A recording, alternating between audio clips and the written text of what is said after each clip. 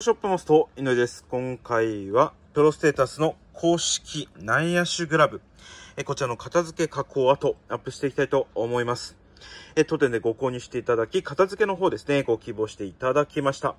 えそしてですね、柔らかさの方が、え実践10とすると半分程度ノーマルから、えソフトの間程度が、えーいいなと、えご希望を受けて、そのように作っております。なので、え硬すぎず、柔らかすぎずっていう形にて、えー作らせていただきました。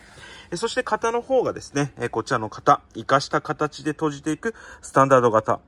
えそしてですね、親指が、え中指につくようなイメージ。そしてですね、ポケットがウェブの下っていう形で作らせていただきました。なので、親指と4本指で閉じていく、えイメージとなります。そして、指を出すという形ですね、使わせていただいております。最後にですね、メンテナンスも施しまして、安心してお使い可能となっております。